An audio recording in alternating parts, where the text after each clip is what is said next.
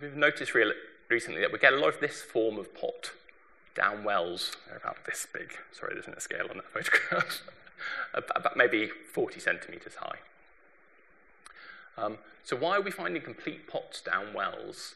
Well, they're not rubbish in the sense that, you know, they're not broken, they haven't been thrown away.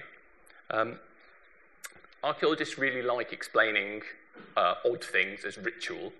Do we have um, the votive deposition of these pots into wells? Wells are interesting places um, because it's very important to get clean water. So there are also places that kind of go down into the earth, perhaps towards the underworld. Are we seeing a focus of ritual activity?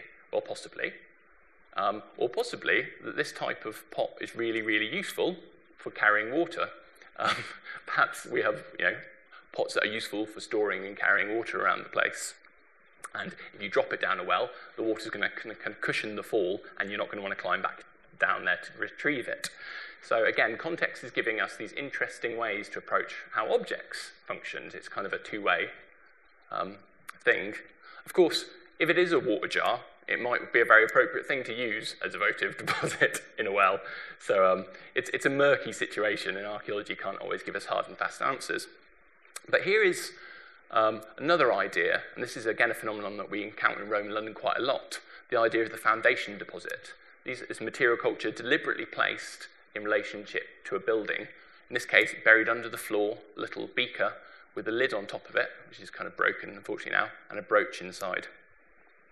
Um, and the conventional interpretation of these is that they are exactly that. They are votive offerings um, to local spirits or gods to ensure good fortune um, for the building and for its inhabitants. And that's, that's great, and it's, it's a really interesting recurrent pattern that I think we, we can kind of get behind, we can believe in. But actually, we can move even further than that. We can find um, some really very specific patterns that perhaps we can interpret in, in a more precise way. This is a, a, a little pot found within the makeup of a wall of a first century Roman building, which had this really interesting group of objects inside it, part of another amber amulet, um, a burnt fruit, perhaps burnt as a gift to the gods, a number of deliberately broken objects, an iron key with the end broken off, and a military style buckle. Um, now, I like to, to, uh, to kind of in, to, uh, think about these things with a little bit of drama. I like to, think, well, what actual actions do these reflect? So, you know, they've burnt the, uh, the fruit, they've snapped the, um, the objects, um, perhaps they've rolled the dice into the jar, they placed the iron key in last, which I would argue is a deliberate way of sealing um, the deposit in place, locking it into the building. Um, but uh, so we can kind of get some sense of perhaps what some of the symbolic um, framework around all of this might have been.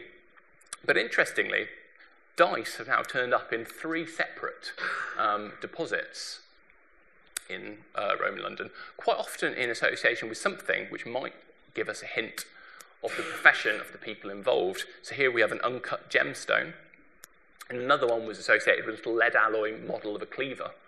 So do we have some, see, are we getting a sense of some very specific um, Roman beliefs associated with when you set up a new business? Perhaps you're rolling your dice uh, as a symbol of good fortune because it's a gamble, it's a new thing you're doing. You're including something which is likely to help you get that good fortune, like your little amber amulet. Um, but you're also um, te- basically telling the local spirits exactly what it is you're trying to do here um, so that they know what kind of good fortune to give to you. Uh, we've, got, we've got a few different examples of these now. There's some more details in the transcript of this lecture.